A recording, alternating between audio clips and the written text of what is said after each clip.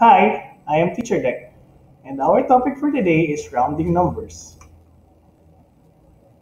At the end of this topic, you should be able to identify the rules in rounding numbers up to 100,000. But first, I want you to remember this thing. Whenever we round off numbers, we locate a certain digit in a certain place value, right? When the preceded number is 0 to 4, the digit will stay. When the preceded number is 5 to 9, the digit will round up. Let's start now with the nearest thousand. We have here 425,726. As you can see, we underline the digit in the thousands place. And what is the preceded number? It's 7.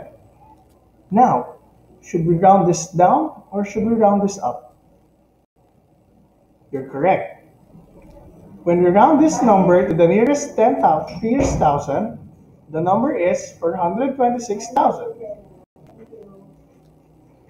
Now, let's try rounding off numbers to the nearest 10,000.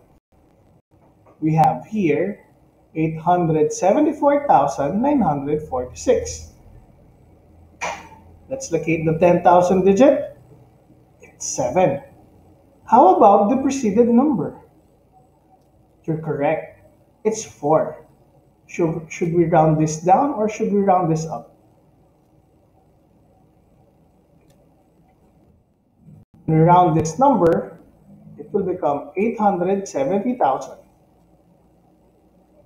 Let us now try rounding numbers to the nearest 100,000. Locate the number. And what is that? Correct. It's number 4. How about the preceded number of the digit? We have here the number 6. Should we round this down or should we round this up? Correct. When we round this number to the nearest 100,000, the number is 500,000. Tomorrow, we will see each other for our work. Goodbye.